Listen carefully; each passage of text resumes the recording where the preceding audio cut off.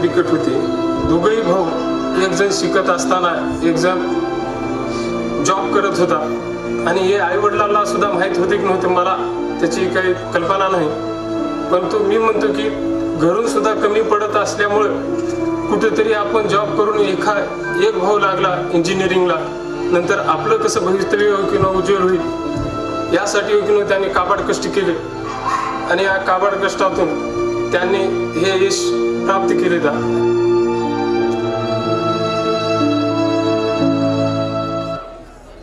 नंदाबाई गणेश खांडरे पद्मीनबाई विलास सुरेकर यांचा या सर्व कर्तृत्वान मातेचा या ठिकाणी ताईच्या हस्ते सन्मान होत आहे.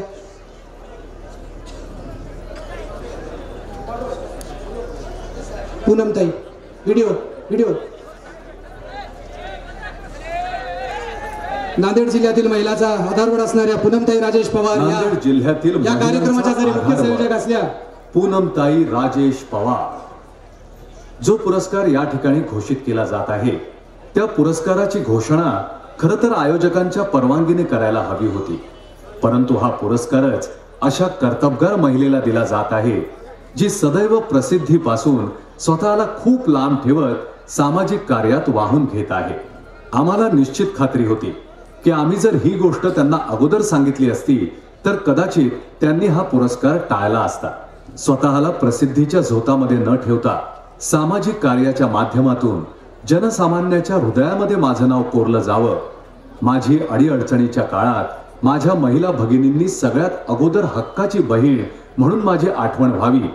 फक्त एवढाच स्वार्थ ठेवून नांदेड जिल्ह्यातील ग्रामीण महिलांच्या न्याय हक्कासाठी सदैव प्रखरपणे लढणारा एक लढवय्या नेतृत्व म्हणजेच पूनमताई राजेश पवार. एका मुख्याध्यापकाच्या पोटी जन्मलेल्या ह्या मुलीने अगदी बालपणापासून सामाजिक कार्याची आवड जोपासली.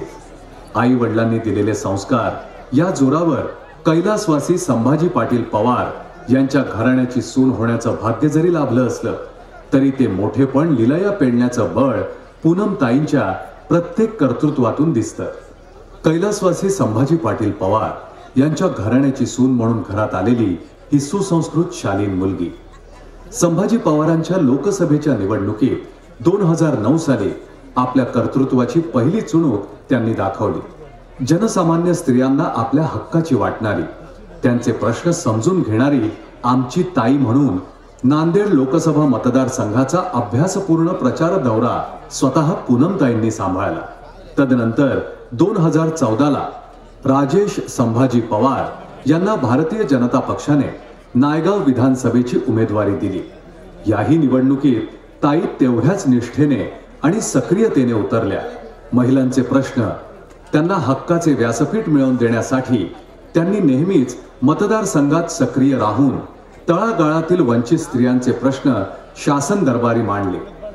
जिल्हा परिषदेची निवडणूक लागली की आपल्याकडे सहसा महिलांना आरक्षित असलेल्या जागेतूनच लढल्या जातात. परंतु मांजरम जिल्हा परिषद गट खुल्या प्रवर्गासाठी असताना सुद्धा एका पुरुष प्रतिस्पर्ध्यासोबत जनसामान्यांचं केलेल्या कामांच्या जोरावर ताईंनी निवडणूक लढण्याचं धाडस केलं आणि त्या मतदारसंघातील जनतेने ताईंना विजयी केलं. भारतीय जनता पक्षाच्या महाराष्ट्रातील साडेचारशे जिल्हा परिषद सदस्यांपेक्षा क्रमांक एक ची मतं ताईंना मिळाली.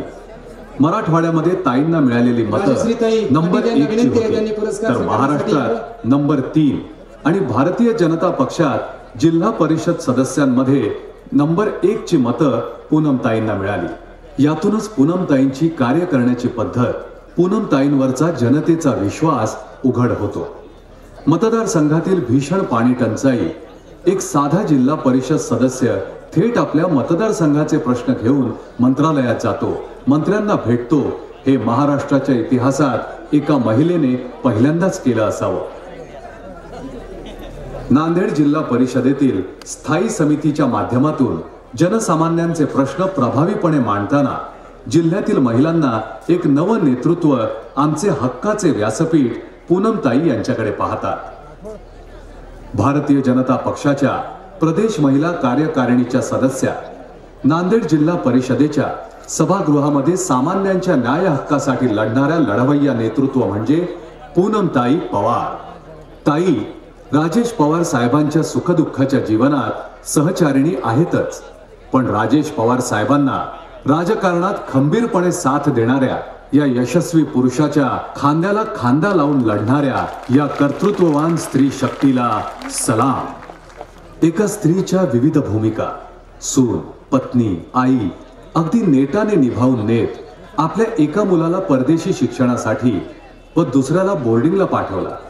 मातेचं हृदय कठोर करून समाज हितासाठी स्वतःचं घरट सोडून राहणाऱ्या चिमुकल्याच्या प्रेमाच्या स्पर्शापासून वंचित राहत समाजाच्या सुखदुःखात स्वतःचे सुख मानून मनाच्या एका कोपऱ्यात मातृत्वाची असीम माया सुप्तपणे ठेवून चेहऱ्यावर सदैव हास्य पण त्यामागचा त्याग वैराग्य उपासना हा समाज कधी विसरणार नाही.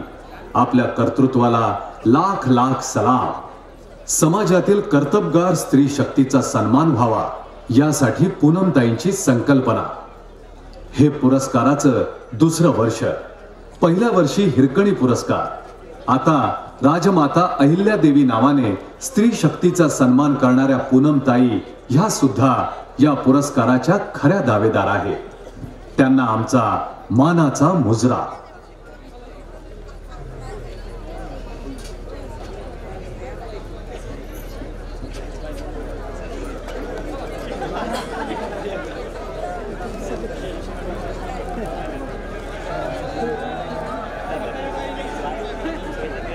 पंकजाताईचा व्हिडिओ प्ले करायचा आहे.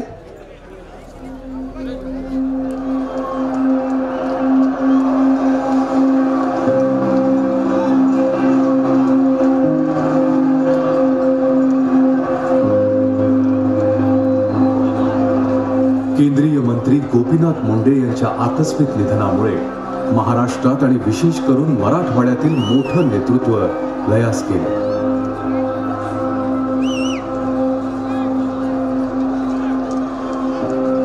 त्यांच्या निधनामुळे येथील भारतीय जनता पार्टीचं अस्तित्व धोक्यात येईल की काय अशी शंका वाटत होती.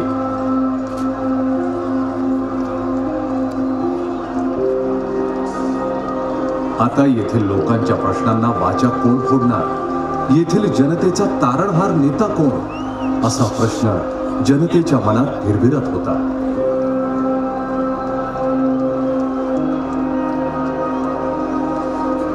असं वाटत असतानाच एक चेहरा समोर आला.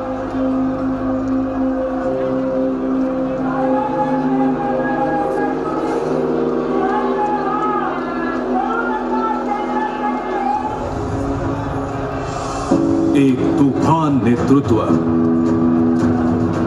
परंतु सगळ्यांना सावरून घेणारा. त्या म्हणजे स्वर्गीय गोपीनाथ मुंडे यांची ज्येष्ठ कन्या पंकजाताई गोपीनाथ मुंडे।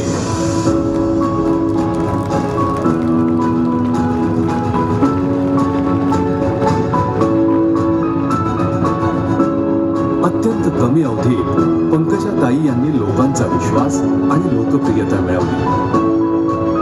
मुंडे साहेबांनंतर भाजपचा नवीन चेहरा म्हणून त्या समोर आल्या आहेत.